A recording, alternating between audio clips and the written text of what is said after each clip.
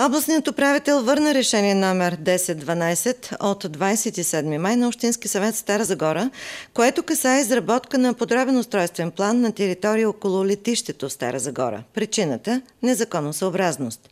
По закон 14-дневен срок Общински съвет Стара Загора трябваше или да прегласува решението си, или да го отмини.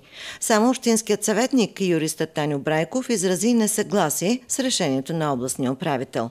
Уважаеми колеги, чухме изключително патетични изказвания на тема летище. Бяхме запознати включително и с цепелините.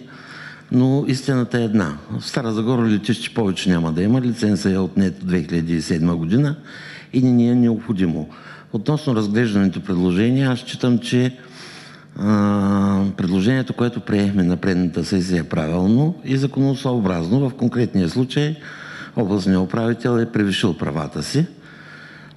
Първото, което мога да споделя с вас, той няма правен интерес да обжалва това решение и решенията по 134 от по принцип са необжалваеми. С последните изменения в закона дават възможност за, обжалва, за обжалване само на засегнатите страни, съседи и така нататък, поради което считам, че заповедта на областния управител е неправилна и не е законосъобразна и нашето решение трябва да се го гласуваме втори път, така както е гласувано на предната сесия.